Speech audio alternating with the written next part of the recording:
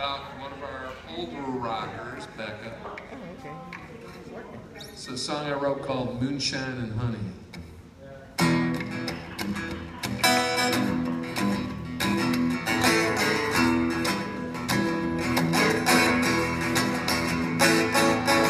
Came a looking for a sweet mountain girl I called to smoke his home just to give it a whirl. Sit alone sip my bar high. All I did was hush drink apple pie. Well, here he asked, was I looking for a loan? I didn't know what I had in store. I told my brother Chick, you know this may sound funny. Said, kid, and all you really need is mooching money. He said, look